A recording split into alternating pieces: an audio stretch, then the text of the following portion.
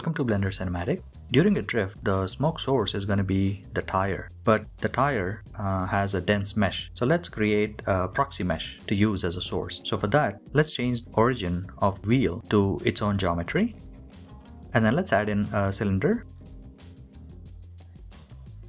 with uh, 32 faces. And then let's scale it down and then snap it to the wheels origin. We can do that by pressing Shift S and then selection to active. And let's get into edit mode and delete the faces on either side of the cylinder so that we're left with the faces in the periphery. And then let's scale it down so that the proxy mesh is just a bit larger than the wheel and that it's slightly below the ground plane as well because we're going to use it later during uh, the dynamic paint.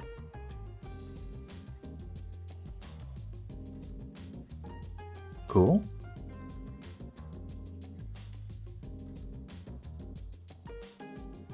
Now let's parent the proxy mesh to the wheel because we want it to move with the wheel. There we go. Now let's move to the physics tab. And then while the proxy mesh is selected, let's click on fluid. And then let's change the type to flow and then the flow type is going to be smoke. And then flow behavior is going to be inflow because we want the flow to be continuous. And then sampling substeps as 5 and then flow source as mesh and then uh, check the planar box because the mesh is planar. And then surface emission let's uh, put it at 0.5 because we want the smoke to be produced close to the mesh surface.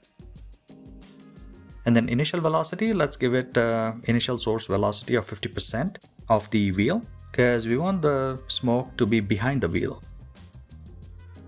So let's give it half the velocity So those are the settings. And once you have the settings, we're just going to duplicate it and then move it onto the other wheel. So we have two proxy meshes generating the smoke. And let's do the same thing, parent it. There we go. So now we want the flow behavior, the inflow to be keyframe as we want the simulation to start at frame 250 and end at 750. At frame 250, let's check the use flow and then insert a keyframe. And then at frame 249, let's deselect the use flow and then insert a keyframe.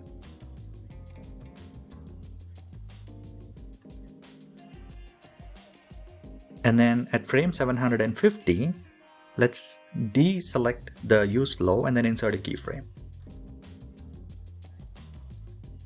So effectively what we're doing is all the frames before 250, the smoke is not generated and between 250 to 750 frames, the smoke source is on and then beyond frame 750, again, the smoke source is off.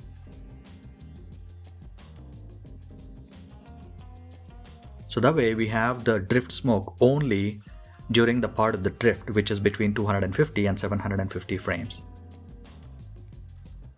And then let's uh, repeat the same process for the other proxy mesh as well.